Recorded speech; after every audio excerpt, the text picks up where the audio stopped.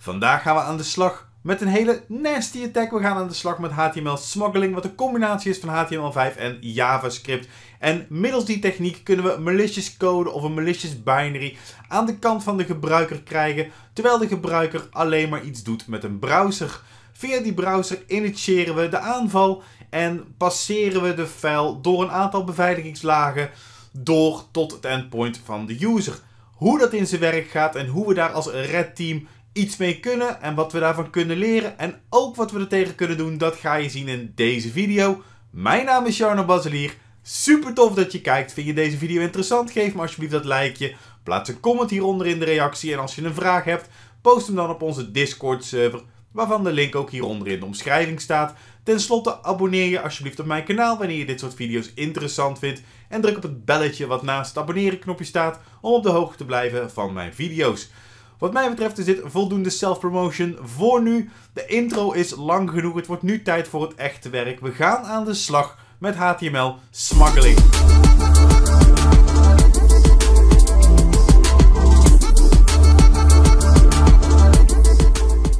Zoals al vermeld tijdens de intro gaan we het in deze video hebben over een techniek genaamd HTML smuggling. HTML smuggling is een geavanceerde techniek welke ingezet wordt voor het afleveren van malicious payloads en malware door gebruik te maken van legitieme HTML5 en JavaScript functies. We zien deze techniek vaak terug bij phishing mailcampagnes. De HTML5 smuggling techniek is waargenomen als bezorgingsmechanisme bij onder andere Makeocio, AsyncRed, NGRed en de Trickbot campagnes. HTML smuggling zorgt ervoor dat de aanvaller een malicious script kan smokkelen in een speciaal vervaardigde HTML-bijlage of webpagina. Wanneer een doelgebruiker de HTML-pagina in zijn browser opent, decodeert de browser het kwaadaardige script dat op zijn beurt de payload op het hostapparaat assembleert. Dus in plaats van dat de malicious file rechtstreeks over het netwerk gaat, bouwt de aanvaller de malware lokaal op achter de company firewall. Laten we eerst eens gaan kijken hoe dit werkt en zelf een HTML smuggle page maken. Maar voordat we dat kunnen doen, laten we eerst de payload maken, welke we willen smokkelen naar de end-user toe, zodat we deze payload op het doelsysteem kunnen plaatsen. En de payload die we daarvoor gaan gebruiken is een payload die we in de afgelopen video's al vaker gebruikt hebben. En die gaan we gewoon simpelweg maken met MSF Venom. En dat wordt gewoon een reverse TCP shell voor een 64 bits Windows. Shell reverse TCP.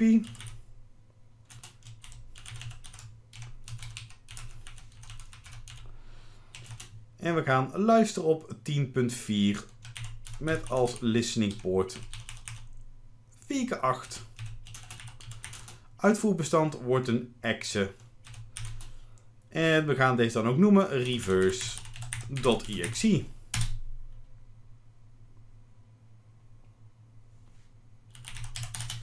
Het allereerste wat we gaan doen is het maken van een gewone simpele HTML-file om als framework te dienen voor de rest van de file die we gaan bouwen.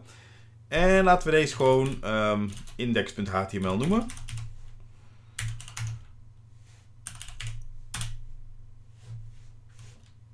En natuurlijk beginnen we met een open en sluiten HTML tag.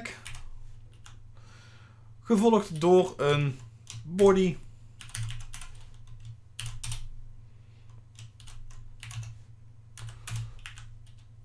En in die body kunnen we iets wegzetten als een uh, linkje naar een binary. En dat is dan de binary die we zojuist gemaakt hebben. Reverse.exe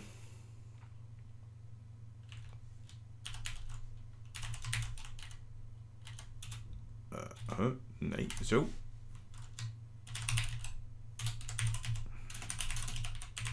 download de file. En dan kan ik op mijn desktop een HTTP-server starten. En wanneer ik nu naar de Windows client ga,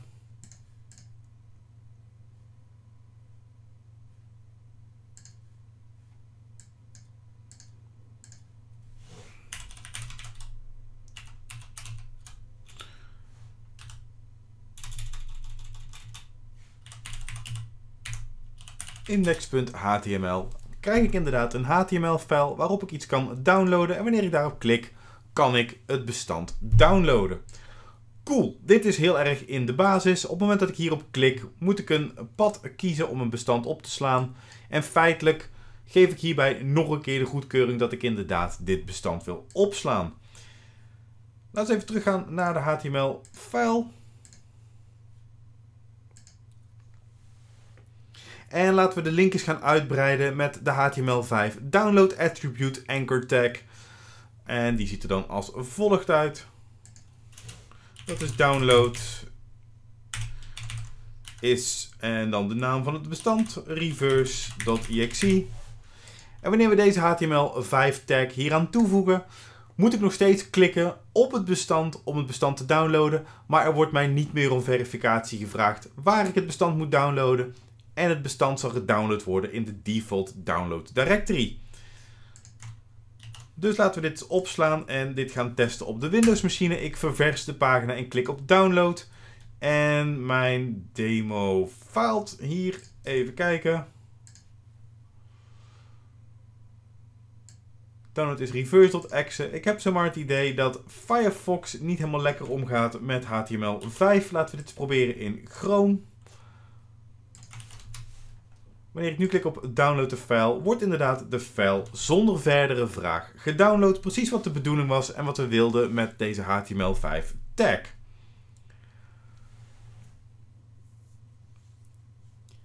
Nadeel van deze methode is dat de gebruiker dus nog steeds op de link moet klikken en de bestandsnaam en de extensie van het bestand meteen zichtbaar zijn. Om dit te voorkomen kunnen we de download activeren vanaf een embedded JavaScript bestand. Deze methode maakt een octet stream van het bestand en downloadt het geassembleerde bestand zonder verdere gebruikersinteractie. Wat we eerst moeten doen is het converteren van onze binary naar base64 code, zodat we deze code kunnen gebruiken in ons script. Dus laten we even teruggaan naar Kali.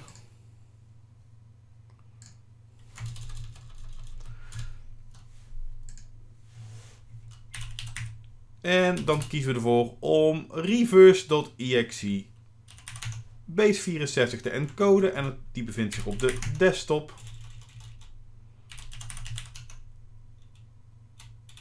Uh, zonder slash desktop reverse. Dat ziet er als volgt uit. Ik wil hier geen wrapping bij hebben. Dus ik zet wrapping eventjes op 0. En dan krijgen we op een single lijn onze base64 code.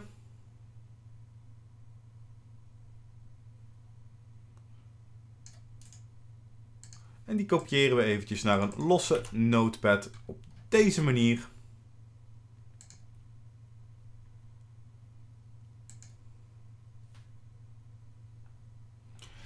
En wat we moeten maken in ons script is een functie waarmee de base64 encoding wordt geretourneerd, zodat het bestand kan worden hersteld naar zijn oorspronkelijke vorm. En deze functie ziet er dan als volgt uit. We maken een script. Laten we deze maar gewoon weghalen.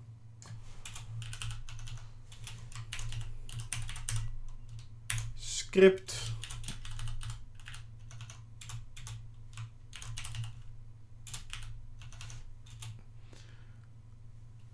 En in dit script maken we een functie. En die functie dat is base64 to array. En die ziet er, laten we het gewoon kopiëren plakken. Dat is een stukje sneller. En die ziet er dan als volgt uit. En deze functie werkt eigenlijk als volgt. We start hier een functie, die noemen we base64 to array buffer. We parsen base64 code in. Vervolgens definiëren we hier een binary string variabele. De base64 code wordt met Windows ATOP omgezet naar binary data. Vervolgens kijkt de length functie hoe groot dat die data is. En hier definiëren we een lege array en die noemen we bytes. Vervolgens starten hier een for loop en voor elke waarde in de binary string wordt een waarde weggeschreven in de bytes array. En dat is eigenlijk wat deze hele functie doet. Het enige wat we nu nog moeten doen is om onze base64 code te definiëren in een andere variabele. En die noemen we even variabele file. En die plaatsen we tussen de quotes. Dat is deze content, een hele riedel. En dan bevindt deze zich ook in het bestand.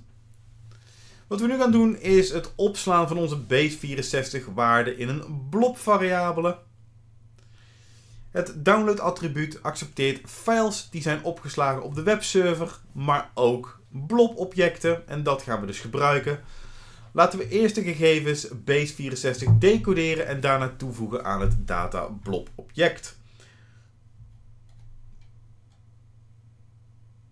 Dus laten we dan hier zeggen variabele data.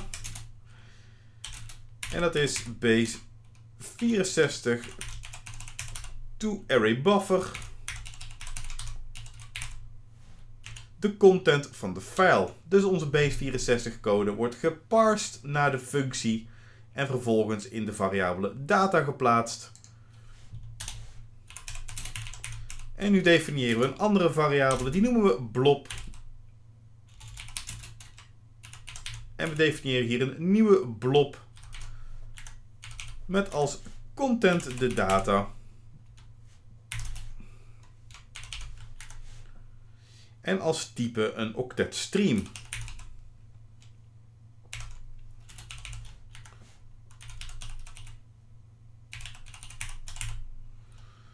Op deze manier. En wat we nu kunnen doen is de statische URL create object URL methode gebruiken om een URL file object te maken. Dit simuleert een bestand welk op de webserver opgeslagen is, maar in werkelijkheid wordt het object dus uit het geheugen gelezen.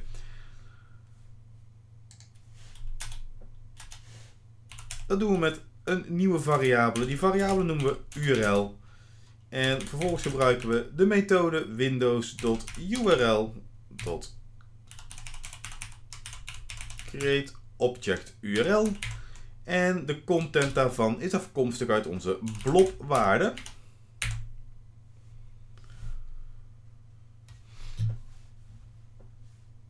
Nu we het bestandsobject in het geheugen hebben, kunnen we een anchor object maken met de createElement methode, waarbij de tagname van het anchor object wordt opgegeven. De tagname is de hyperlink en dus de A Dus we maken een variabele, die noemen we voor het gemak A. En wat is dat dan? Dat is document create element. En we maken dus een element aan. En dat element is, ons, is onze hyperlink, is ons A-element. Daarna gebruiken we de append child methode om het gemaakte anchor object in het HTML document te plaatsen met document body append child A. Dus we gaan aan de body van het document. Document.body gaan we een child object toevoegen, append child.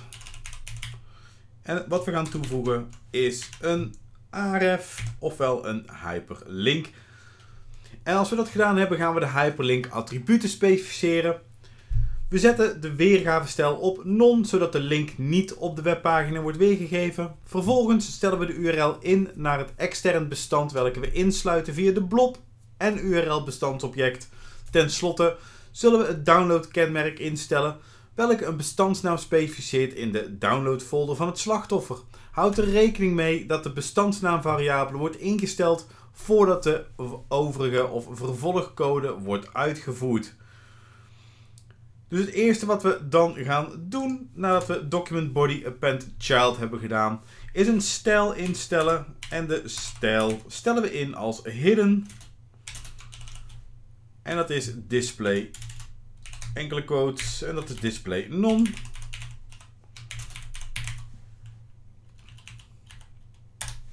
De hyperlink of de ahref is gelijk aan die van de URL. En a.download. Ofwel het HTML5 attribuut om automatisch de download te starten zonder een extra vraag. Die is gelijk aan filename van, dat, van de download. En laten we dan ook nog maar de filename specificeren. En dat is var filename.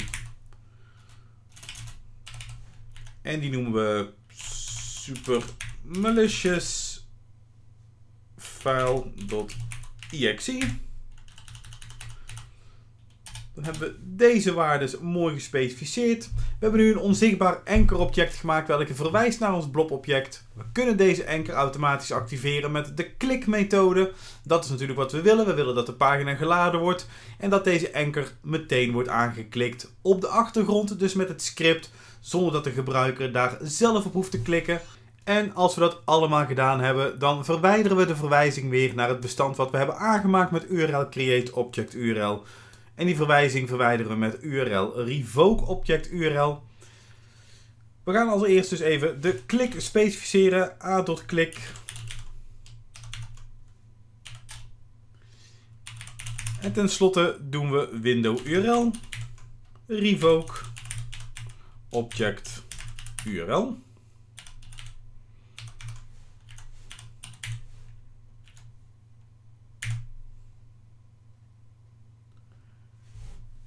Even kijken, we hebben de file, we hebben de data, we hebben de blob, we hebben de filename. Uh, var URL hebben we hier nog. Voor de blob, dat is ook correct. De styles voor de link, de klik en het verwijderen van het object URL. En het lijkt erop alsof ons script compleet is begint het al duidelijk te worden waar de naam HTML smuggling vandaan komt. We smokkelen namelijk op deze manier code naar binnen welke dynamisch en achter de schermen wordt uitgevoerd en gecompileerd. Laten we nog eens snel een controlerondje doen voordat we deze code ook gaan testen. Wat al opvalt is dat we geen syntax highlighting hebben. En we hadden hier natuurlijk ook script van moeten maken in plaats van script. De functie ziet er goed uit. We krijgen dan onze shellcode. Ik zie dat ik hier nog een aantal punt commas vergeten ben. Op deze manier. Ik heb hier een octer stream. En dat hoort een octet stream te zijn. En Windows moet window zijn. En dan denk ik dat we het script compleet hebben. Laat ik de changes eens opslaan en deze gaan testen in onze Windows machine. Laten we op F5 klikken. En zoals je ziet wordt supermalicious file.exe gedownload. De pagina laat geen content zien, maar de klik gebeurt dus op de achtergrond. En de file wordt samengesteld vanuit de blob. En in de beginnen natuurlijk vanuit de base64 encoded shellcode. Die wordt weer samengesteld tot een exe en gedownload. Chrome herkent hem in ieder geval als gevaarlijk en blokkeert hem daarom. Dus nou, om dit tegen te gaan, daar moeten we nog iets anders voor gaan verzinnen. En deze techniek werkt ook in Google Chrome omdat Chrome de Windows.url.createObjectURL techniek ondersteunt. Voor Edge kunnen we bijvoorbeeld ook gebruik maken van de Windows.navigator.mssafe blob functie. Als we dat zouden doen, dan zou ons script er een heel stuk anders uitzien. Om om te bouwen daar naartoe houden we dit stukje hetzelfde. We hebben nog steeds een data we hebben nog steeds een blob. En het enige wat we dan moeten gaan doen is Windows.navigator. Navigator op deze manier. Tot ms save blob. En dan is het de blobwaarde. En die moet worden opgeslagen als super malicious file2.exe of iets in die trant. Maar in ieder geval de filenaam zoals die moet worden opgeslagen. En that's all there is to this. En uiteraard kunnen we ook een slimme combinatie maken, zodat onze HTML smuggling methode werkt op beide browsers, op zowel Internet Explorer als Edge als Google Chrome, etc. En dat is door het combineren van deze technieken. En dat combineren kunnen we weer doen met een if statement. We zouden kunnen gebruiken window in plaats van Windows if. En laten we dan zoeken naar de methode of dat die ondersteund wordt. En die methode dat is Windows Navigator. En dan ms save, ms save or open blob. En als die methode inderdaad bestaat, voer dan op deze manier de download uit. En als deze methode dan niet bestaat, else. Als die methode niet bestaat, doe het dan op de voorheen besproken manier op deze methode. Wat we dan nog wel moeten specificeren is de variabelen die nodig zijn. We hebben de blob, we hebben de data, we hebben nog niet de filename. Filename.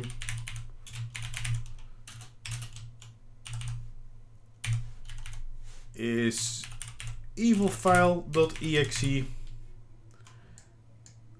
Filename is met een hoofdletter N op deze manier. En we kunnen filename dan ook hier gebruiken als variabele. En dan denk ik dat we het script compleet hebben. Laten we dit script eens opslaan. Teruggaan naar Windows. Op F5 drukken. En ook nu wordt evilfile.exe gedownload. Laten we dan ditzelfde eens proberen in Edge.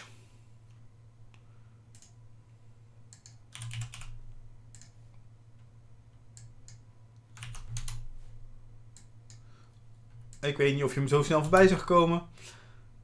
Evilfile.exe wordt niet vaak gedownload en zorg ervoor dat u deze vertrouwt voordat u hem opent. Dus ook hier krijgen we een waarschuwing. Ik wilde eruit. Browser sluiten. En laten we dan Firefox nog eens controleren. En deze methode werkt ook in Firefox. En Firefox geeft op dit moment nog geen melding en geeft ons de optie om het bestand te downloaden.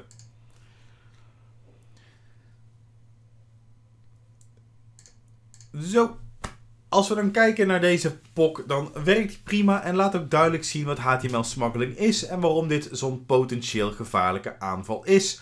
Echter is de base64-code gemakkelijk te reversen en dus gemakkelijk te inspecteren door de browser en de endpoint protection systems welke in place zijn. We zouden de payload kunnen verbeteren. We kunnen bijvoorbeeld ons JavaScript zo opverskeren dat reversing erg lastig wordt. En dat kunnen we doen met een tool die heet obfuscator.io. Nou zijn er meer van dat soort tools uiteraard. obfuscator.io. En wanneer we nu ons JavaScript, dus alles tussen de script tags,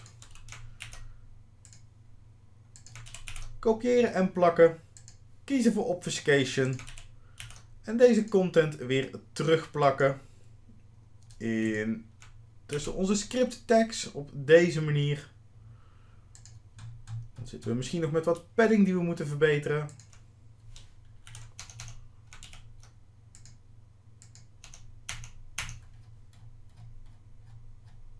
Op deze manier. Dit leest al een stuk moeilijker. En laten we nu eens gaan kijken hoe onze Windows machines hierop reageren. Laat ik nog eens F5 doen. En ons script werkt dus nog steeds. Ook al ziet het script er een stuk moeilijker leesbaar uit. En is reversing erg lastig. Ook in Google Chrome functioneert het nog steeds. Zoals je ziet is de payload nog steeds base64 encoded en gewoon leesbaar. Om dit nog beter te doen zouden we de payload moeten verwerken in JavaScript en zo opverskeren dat het herkennen van de malicious file bijna onmogelijk is. Een mooi framework hiervoor is onder andere Embed in HTML van Arno 0x. En laten we daar eens even naar gaan kijken. Dat is Embed in HTML.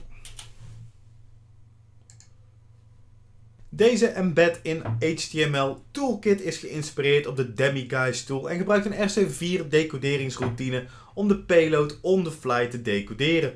Deze techniek zit ook verwerkt in Sharpshooter, maar zonder Sharpshooter te gebruiken laten we eens kijken of we embed in HTML kunnen gebruiken. Hier staat duidelijk uitgelegd dat we embed in HTML op twee manieren kunnen gebruiken. Middels een Python script en middels een HTML JavaScript. We gaan het Python script hiervoor gebruiken. Dus laten we eerst de repositories even klonen.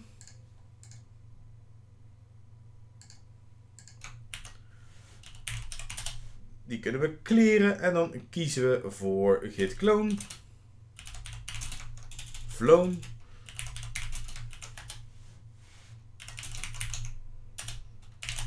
Dit is de embed in HTML source code. En we kunnen nu gebruiken Python embed in HTML. We kiezen voor een custom key en die key die noem ik Jarno. En de payload die ik wil gaan gebruiken bevindt zich in home. Uh, Kali is dat hier, gewoon Kali desktop. En dan reverse.exe. We krijgen dan een output file. Die output file die wil ik graag ook op de desktop schrijven. Home Kali desktop. En die noem ik output.html.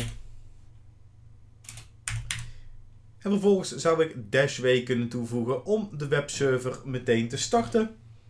Aangezien we nog een webserver gestart hebben, is dat helemaal niet nodig. Home Kali desktop output.html could not open on write file.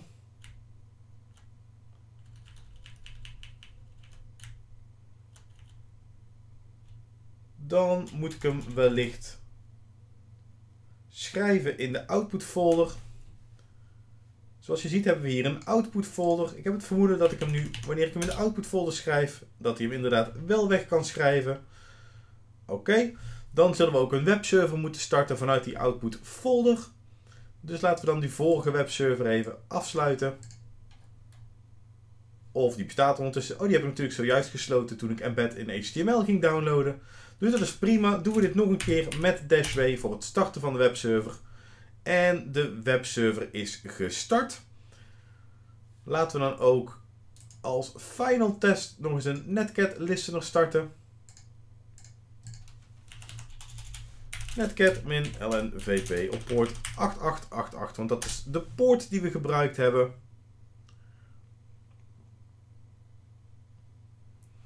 En dan gaan we terug naar Windows.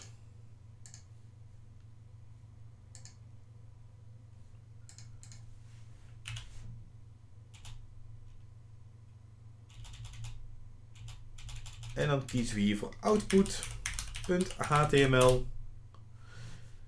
En zoals je ziet wordt nu reverse.exe gedownload, maar nu op de methode van embed in HTML met RC4 encryptie, wat een stuk lastiger om te ontdekken is door alle tussenliggende beveiligingsmaatregelen. Punt alleen dat wanneer we dit nu doen in Google Chrome,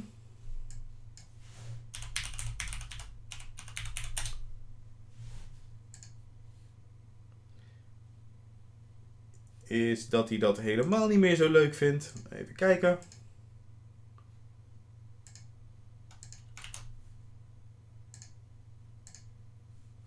Nu wel, maar Google Chrome geeft nog steeds aan dat reverse.exe gevaarlijk is. Laten we al die meldingen weer eens verwijderen. Laten we Google Chrome eens even sluiten. Want dan gaan we nog even kijken of dat we ook deze melding weg kunnen krijgen. En dat kunnen we doen door de payload aan zich wat beter te maken. En we zouden daarvoor ook de kennis uit de vorige video kunnen gebruiken. De video van MSF Venom. En laten we nu eens een nieuwe payload maken waarbij we Putty als template gaan gebruiken. Dus dan mag ik deze weer even sluiten. Ja, mag ook even dicht. Heb ik Putty nog op mijn desktop staan. Putty original.exe. Dat is de originele Putty binary.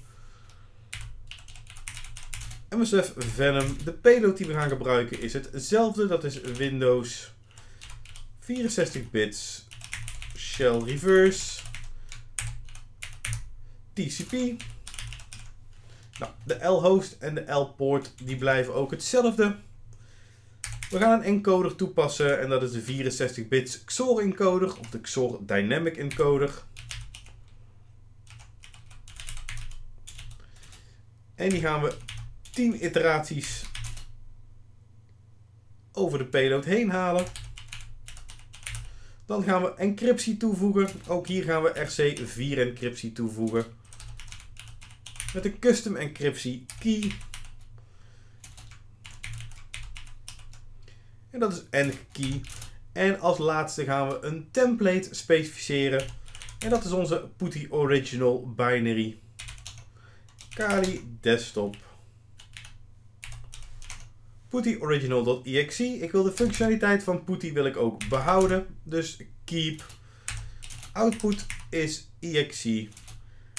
En ik ga hem opslaan als putty.exe.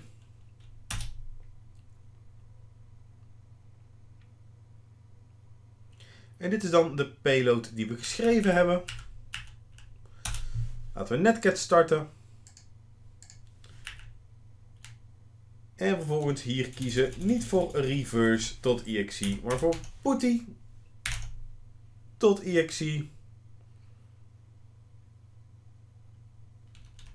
En dan gaan we hem opslaan als putty.html. En we starten weer de webserver. Gaan we terug naar Windows en naar Google Chrome.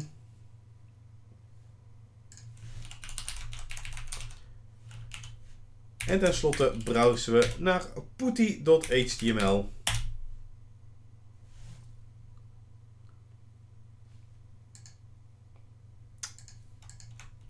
Het gebeurt wel eens dat de webserver een beetje vastloopt. En zoals je ziet hebben we nu de binary putty.exe gedownload in de Google Chrome browser zonder enige melding. En wanneer ik hierop klik zal Putty starten. En als het goed is hebben we nu ook onze reverse shell verkregen. Terug naar onze Netcat listener. En onze reverse shell is compleet. En we hebben nu dus HTML smuggling gebruikt om een malicious binary te downloaden op de client computer. De client start gewoon putty.exe zoals hij gewend is met de functionaliteit van putty. Maar dit is een malicious binary, dus op de achtergrond wordt onze reverse shell gestart. Belangrijkste uit deze video is uiteraard de methode om de malicious putty binary zonder enige klik of nou ja, waarschuwing aan de gebruiker om die op de machine van de gebruiker te krijgen. En het is dus een gevaarlijke methode die vaak gebruikt wordt in phishing campagnes. Uiteraard is een goede tegenmaatregel het uitschakelen van JavaScript zelf. Helaas is dit in de meeste situaties niet haalbaar omdat te veel legitieme systemen en webapplicaties JavaScript gebruiken of vereisen. Het is ook erg lastig om malicious JavaScript te herkennen. Daarom is het vaak de taak van de endpoint om HTML-smuggling attacks tegen te houden. Defense in Depth is een speerpunt in de beveiliging om ervoor te zorgen dat verschillende systemen op verschillende lagen de malicious content kunnen herkennen en blokkeren. Goede firewalls kunnen verkeer inspecteren en up-to-date antivirus systemen doen dit op de endpoint. Netwerksegmentatie is belangrijk om eventuele horizontale verspreiding binnen het netwerk te voorkomen. En Microsoft Windows Attack Surface Reduction of ASR is een functie van Microsoft Defender ATP, welke op het niveau van het besturingssysteem een bepaalde functie kan blokkeren. En uiteraard is een goede periodieke security awareness training van het personeel van onschatbare waarde om HTML-smuggling tijdig te herkennen en dus ook tegen te gaan. En dat was alweer het einde van de video waarin we hebben gekeken naar HTML-smuggling. En ik hoop dat ik in deze video een klein beetje heb kunnen laten zien hoe deze techniek gebruikt kan worden door een malicious actor. Hoe krijg je een binary of een ander soortige file aan de overkant, aan de kant van de gebruiker. En hoe doen we dat dan via de browser en zonder dat de gebruiker überhaupt maar een download initieert. Het bezoeken van de pagina is genoeg bij HTML smuggling om een file te creëren op het endpoint van een gebruiker. Vond jij deze video interessant en je wist dat die vraag ging komen? Uh, geef me dan alsjeblieft dat likeje. Ik maak dit soort video's heel erg graag. Maar er gaat ook veel tijd zitten in het maken van de video. Het testen voordat het opnemen begint. Het maken van het script, etc. Want de content die ik jullie wil bieden moet goed genoeg zijn om ook iets van te leren. Dus als je dat likeje wilt geven, dankjewel. Daarnaast Abonneer jezelf op mijn kanaal als je dit soort video's interessant vindt. En heb je een comment, plaats hem hieronder in de comments. En heb je een vraag, dan mag je daar ook terechtkomen. Dat is geen probleem en ik ga proberen om die vragen te beantwoorden. Maar de betere plek voor je vragen is onze NL Infosec Discord community server. Waarvan de link ook hieronder in de omschrijving staat. En dat brengt ons dan echt aan het einde van deze video over HTML-smuggling. Ik kan niets anders doen dan jou heel, heel hartelijk te danken voor het kijken naar deze video. En uiteraard zie ik je weer heel graag terug bij de volgende video. Een hele fijne dag en doei doei!